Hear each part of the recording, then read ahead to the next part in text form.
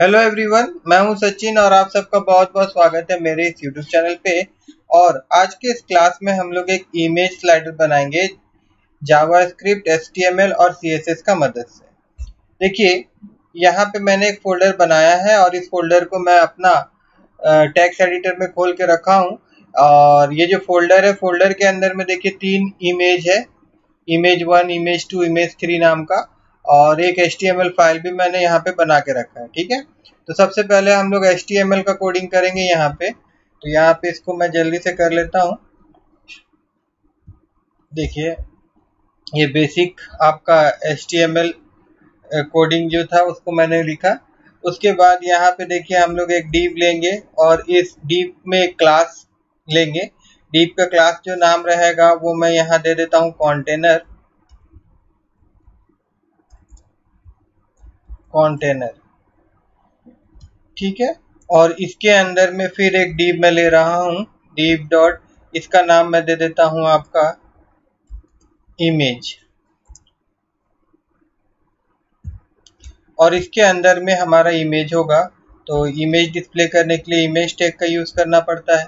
है ना? और सोर्स में इमेज का जो नाम होता है, वो लिखना होता है तो वो भी मैं यहाँ लिख देता हूँ इमेज वन डॉट पी ठीक है? और उसके बाद यहाँ से इसको हम लोग हटा देते हैं। ऐसे करके। अब एक सी एस एस फ़ाइल हम लोग बनाएँगे।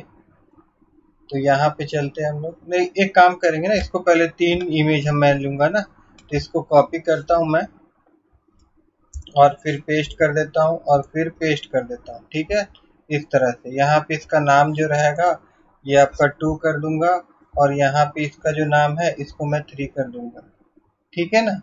ये आपका वन टू थ्री इस प्रकार से और अगर अभी हम लोग जाएँगे यहाँ पे, इसको रिफ्रेश करेंगे। तो देखिए, एक हमारा इमेज वन एक इमेज टू और एक इच इमेज थ्री ये आ गया है है ना? अब C S S file create कर लेते हैं। इसका नाम हम लोग दे देते हैं style dot C S S और इसको यहाँ पे हम लोग लिंक कर लेंगे H T M L file में। तो उसके लिए यहाँ पे मैं सिंपल लिखूँगा लिंक फिर आपका real equal to style seat फिर यहाँ पे एच रिफरेंस और फिर आपका फ़ाइल का नाम देना होता है है ना? जैसे मेरा फ़ाइल का नाम है style dot C S S तो मैंने यहाँ पे style dot C S S दिया है। अब यहाँ पे जाएँगे हम लोग। और सबसे पहले तो मैं आपको इमेज जो है उसका हाइट कम करके यहाँ दिखा देता हूँ। ये वाइट जो रहेगा, ये आपका हंड्रेड परसेंट ही रखता हूँ। और उसके बाद में जो हाइट है इसका, इसको मैं अभी फ़िलहाल के लिए यहाँ पे थ्री फिफ्टी पिक्सल लिख रहा हूँ। बाद में इसको हंड्रेड पिक्सल कर दूँगा, फ़िलहाल यहाँ देखने के लिए। तो अगर हम लोग इसको रिफ्रेश करते हैं देखिए, अभी यहाँ पे इमेज दिख रहा होगा हम लोग का, तीनों इमेज दिख रहा है, इसका साइज़ जो है वो कम हो गया है। अब जो हमारा मेन कंटेंट है इसका नाम, जिसका क्लास जो है वो हम लोग डिक्लेयर किए थे कंटेनर नाम का। तो उसमें भी हम लोग कुछ कोडिंग कर लेते हैं यहाँ पे मतलब स्टाइल दे देते हैं, ठीक है? तो इसमें हम लोग क्या करेंगे? डिस्प्ले इनलाइन ब्लॉक करेंगे इसको हम लोग। ठीक है? और उसके बाद में इसका वाइट जो रहेगा वो हम लोग हंड्रेड परसेंट देंगे। और उसके बाद में इसका जो हाइट है वो हम लोग देंगे यहाँ पे 350 पिक्सल और उसके बाद में इसका जो पोजीशन है वो हम लोग रखेंगे रिलेटिव और उसके बाद में हम्म, इतना ही रखते हैं अभी? बाद में जैसा ज़रूरत होगा हम लोग देंगे। फिर और क्या था? हमारा इमेजेस था। तो इमेजेस में हम लोग जाएँगे। मतलब ये देखिए इमेजेस वाला क्लास जो था इमेजेस नहीं इमेज वाला क्लास इसका भी हम लोग डिज़ाइन कर लेते हैं यहाँ पे। इसमें हम लोग क्या करेंगे? देखिए करदा तो है यहाँ पे हम लोग को वाइट देना है इसका। तो वाइट जो रहेगा वो यहाँ पे हंड्रेड परसेंट रहेगा और इसका हाइट जो रहेगा H I G S T height वो भी हम लोग यहाँ पे हंड्रेड परसेंट ही दे देते हैं। ठीक है? और पोजीशन जो रहेगा वो हम लोग एब्सोल्यूट कर देंगे। एक बार मैं आपको दिखा देता हूँ यहाँ पे। यहाँ पे अगर हम लोग देखेंगे तो देखिए इस प्रकार से अभी यहाँ पे। ठीक है ना?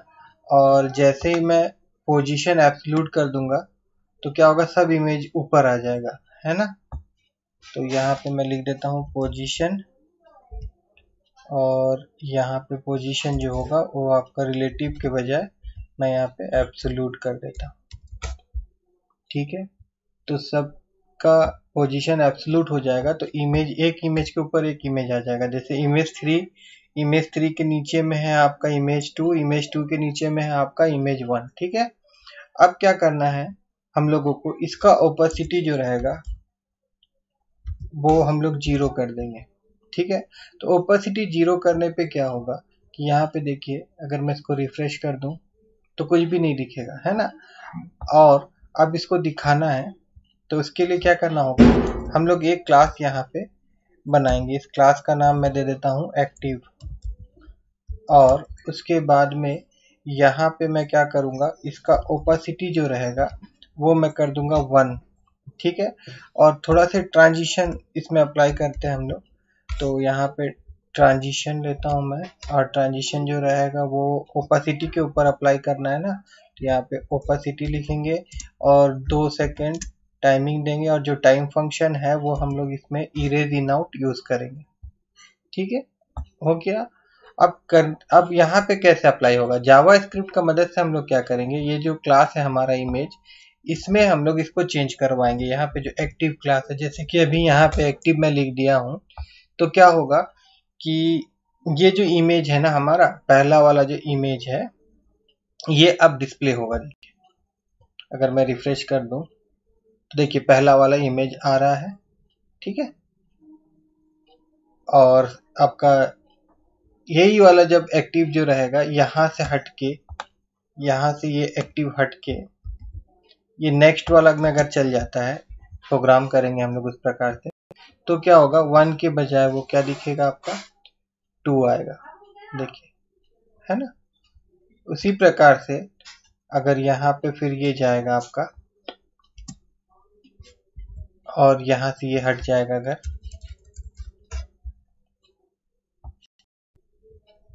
तो देखिए तो यहाँ पे इस प्रकार से। तो ठीक है तो हम लोग क्या करते हैं? सबसे पहले तो ये जो एक्टिव क्लास है इसको हम लोग क्या करेंगे? इसको हम लोग वन में ही रखेंगे। यहाँ पे। ठीक है ना? यहीं पे रखते हैं हम लोग। और उसके बाद में इसको हम लोग रिफ्रेश कर देते हैं। ये देखिए, यहाँ पे वन जैसे दिखा रहा है आपका। चलिए, अब हम लोग क्या करेंगे? जावा स्क्रिप्ट का फ़ाइल बनाएँगे एक। तो यहाँ पे हम लोग क्लिक करते हैं। और यहाँ पे हम लोग एक तो जावा स्क्रिप्ट का फ़ाइल बनाएँगे, जिसका नाम मैं दे रहा हूँ कोड डॉट जी एस अब इसको भी यहाँ पे लिंक करना है एच फ़ाइल में। तो यहाँ पे हम लोग क्या करेंगे? स्क्रिप्ट लिखेंगे और फिर एस और फिर फ़ाइल का नाम जो था जावा स्क्रिप्ट फ़ाइल का नाम यहाँ लिख देंगे कोड डॉट जी हो गया? ठीक है, यहाँ पे जावा स्क्रिप्ट का कोड लिखते हैं। सबसे पहले एक वेरिएबल हम लोग बनाएँगे। और इस वेरिएबल का नाम मैं इमेज दूँगा और उसके बाद मैं यहाँ क्या करूँगा? Document dot query selector all ठीक है? तो इसका मदद से हम लोग क्या करेंगे कि डॉट इमेज नाम का जितना भी क्लास है ना, वो पूरा यहाँ हम लोग कलेक्ट कर ले रहे हैं, आपका इमेज ये सारा जो रहेगा, इस वेरिएबल में आपका स्टोर हो जाएगा। ठीक है? इमेज नाम का जो वेरिएबल है। उसके बाद में हम लोग क्या करेंगे? हम लोग एक फ़ंक्शन बनाएँगे। फ़ंक्शन में क्या करेंगे हम लोग? फ़ंक्शन का नाम देना होगा तो यहाँ पे फ़ंक्शन का नाम जो है मैं दे देता हूँ। स्लाइड सो ये फ़ंक्शन का नाम मैं दे दे रहा हूँ। उसके बाद में कली ब्रैकेट ओपन क्लोज और यहाँ पे भी एक वेरिएबल हम लोग बनाएँगे और इस वेरिएबल का नाम जो है वो मैं दे देता हूँ एक्टिव और इक्वल टू और यहाँ पे मैं लिख रहा हूँ document dot query selector. Query selector क्या होगा कि एक ही वो सेलेक्ट करेगा, ठीक है? क्यूरी सेलेक्टर ऑल क्या होता है? पूरा कलेक्शन मिल जाता है इससे हम लोग को। और यहाँ पे हम लोग डॉट एक्टिव नाम का जो क्लास रहेगा, उसको हम लोग ले रहे हैं। डॉट एक्टिव तो डॉट एक्टिव बोलने से देखिए क्या होगा कि अगर हम लोग यहाँ जाके देखें तो ये वाला एलिमेंट देखिए सिर्फ़ ये वाला ऊपर वाला डीप जो रहेगा, इसको लेगा। और उसके बाद में फिर क्या होगा कि उसके बाद मैं यहाँ अगर जाऊँ, और यहाँ पे मैं लिखूँ अगर, जैसे कि क्या नाम है वेरिएबल का? Active dot class list dot remove ठीक है? और रिमूव हम लोग कौन सा कौन सा क्लास को रिमूव कराना चाहते हैं? यहाँ पे एक्टिव को रिमूव कराना चाहते हैं। ठीक है? जो एक्टिव क्लास है अभी उसको रिमूव कर देगा, है ना? और साथ ही साथ यहाँ पे देखिए, मैं फ़ंक्शन को कॉल करता हूँ। फ़ंक्शन का नाम जैसे है slide show slide show bracket open close यहाँ पे अगर हम लोग फ़ंक्शन को कॉल कर ले और एक बार यहाँ जाए और अगर हम लोग इसको रिफ्रेश करते हैं और देखिए यहाँ पे हट गया। क्यों हटा? वो भी मैं आपको दिखाता हूँ। देखिए, अब भी इसको मैं एक बार रिफ्रेश करता हूँ। ठीक है ना? तो ये हट जा रहा है। क्यों हट जा रहा है? क्योंकि वो जो क्लास है एक्टिव क्लास उसको हम लोग क्या करवा दे रहे हैं यहाँ पे? देखिए रिमूव करवा दे रहे क्लास लिस्ट डॉट रिमूव क्या करेगा? वो क्लास को हटा देगा। देखिए, यहाँ पे हम लोग क्या किए थे? क्यूरी सेलेक्टर का मदद से हम लोग ए डिव को सेलेक्ट किए थे। ये पहला डिव है ना? ये पहला डिव कैसे सेलेक्ट हुआ? क्योंकि यहाँ पे एक्टिव नाम का क्लास है। इसीलिए इसी को ये सेलेक्ट किया। ठीक है? अब यहाँ पे हम लोग क्या करेंगे? इफ़ कंडीशन देंगे इफ़ और उसके बाद में हम लोग यहाँ पे क्या करेंगे? कि यहाँ पे हम लोग लिखेंगे कि active dot next element sibling active dot element sibling ठीक है? इसे क्या होगा मैं समझाऊँगा आप लोगों को। उसके बाद में यहाँ पे क्या करेंगे हम लोग? Active dot next element sibling dot class list dot add ठीक है? और फिर ब्रैकेट और ब्रैकेट के अंदर में हम लोग क्या करेंगे कि यहाँ पे हम लोग उसको एक्टिव करवा देंगे। इसको हम लोग क्या करवा दे रहे हैं? एक्टिव करवा दे रहे हैं। अगर एक बार जाएँगे हम लोग और इसको अगर रिफ्रेश करते हैं, देखिए। क्या हुआ? इसको हम लोग फिर से देखिए, ये आपका चेंज हो रहा है वन चेंज होके आपका टू हो जा रहा है वन चेंज होके ये आपका टू हो गया है है ना? और अगर मैं यहाँ पे हम लोग देखें तो देखिए, यहाँ पे एक्टिव जो क्लास था यहाँ पे, ये इसमें था, है ना? एक बार हम लोग इसको फिर से अगर रिफ्रेश करते हैं, ठीक है? एक्चुअली में हट जा रहा है तो क्या हो रहा है, ये यहाँ से क्या हो जा रहा है, यहाँ आ जा रहा है, ठीक है ना? उसके बाद में फिर हम लोग क्या करेंगे?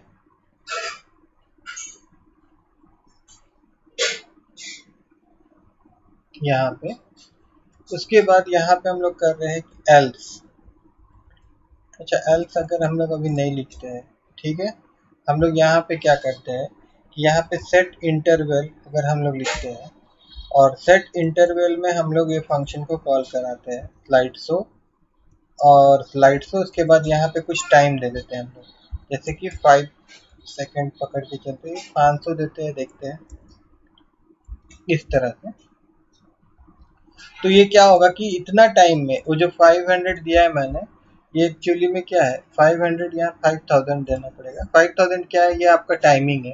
तो इतना टाइमिंग में फ़ंक्शन को बार बार वो क्या करेगा? वो रिपीट करवाएगा। फ़ंक्शन को बार बार वो रिपीट करवाएगा, ठीक है? तो अगर हम लोग का फ़ंक्शन रिपीट होता है तो क्या होगा?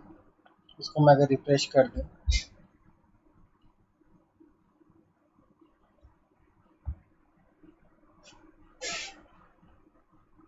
तो ये फ़ंक्शन तो आपका रिपीट नहीं हो रहा है।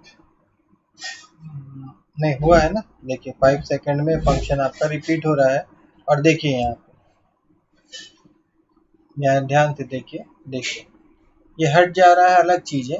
लेकिन अगर मैं इसको रिफ्रेश कर दूँ एक बार एक बार मैं रिफ्रेश कर दूँ, और उसके बाद अगर मैं दिखाऊँ आप लोगों को तो देखिए जो एक्टिव क्लास यहाँ पे अब ये यहाँ चले गया है। और उसके बाद अब ये यहाँ आएगा। देखिए इस प्रकार ठीक है ना? उसके बाद में क्या हो जा रहा है कि हट जा रहा है और एरर आ जा रहा है यहाँ पे देखिए। ठीक है? एरर भी आ जा रहा है। तो उसके लिए हम लोग क्या करेंगे? उसके लिए यहाँ पे हम लोग एक एल्स कंडीशन देंगे। देखिए, ऐसा होगा, ठीक है? और नहीं तो फिर एल्स होगा। और एल्स में फिर क्या होगा? यहाँ पे हम लोग ऊपर में जो इमेज लिया है, लिए हम लोग इमेज और फिर ज़ीरो ठीक है? और उसके बाद में फिर हम लोग क्या करेंगे? Dot class list dot add करवा देंगे, क्योंकि ये हट जा रहा है। हट जाने के बाद वो काम नहीं करेगा। तो इसको हम लोग फिर से क्या करा दे रहे हैं कि ऊपर वाला एलिमेंट में हम लोग ऐड करवा देंगे। देखिए, अब पूरा प्रोग्राम समझिए। पूरा प्रोग्राम में क्या होगा कि देखिए, सबसे पहले हम लोग वहाँ एक्टिव लिखे है ना क्लास तो ये क्यूरी सेलेक्टर जो रहेगा, ये उसको यहाँ से ग्रैप करेगा, ठीक है?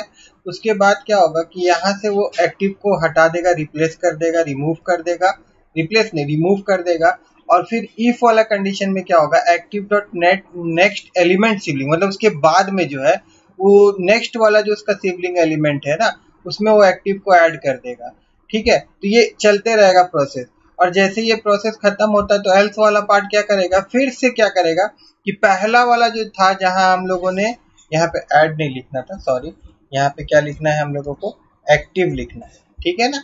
तो एक्टिव में फिर से ऐड कर देगा तो फिर से ये वाला प्रोसेस शुरू हो जाएगा। और ये फ़ंक्शन को बार बार रिपीट करवाने के लिए यहाँ पे हम लोग सेट इंटरवल यूज़ किए। सेट इंटरवल में क्या करना पड़ता है कि फ़ंक्शन का नाम देना होता है, और उसके बाद में कितना देरी में फ़ंक्शन को आप रिपीट करना चाहते हैं वो टाइम यहाँ पे देना पड़ता है अगर हम लोग इसको जाएँगे फिर से यहाँ पे और इसको एक बार रिफ्रेश करके देखिए देखिए यहाँ पे। तो पहले हमारा इमेज वन डिस्प्ले हो रहा है। यहाँ पे इसको हम लोग खोल लेते हैं इसको। देखिए एक्टिव भी यहाँ चले गया, फिर एक्टिव यहाँ चले गया। और उसके बाद में जैसे ही एक्टिव खत्म होगा तो ऑटोमेटिक क्या हो रहा है कि आपका एक्टिव वन वन में फिर से वो एक्टिव क्लास आ जा रहा है एल्स वाला पार्ट से।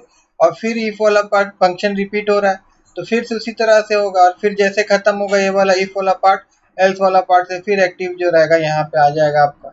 और इस प्रकार से हमारा एक के बाद एक इमेज आएगा और जाएगा, आएगा और जाएगा।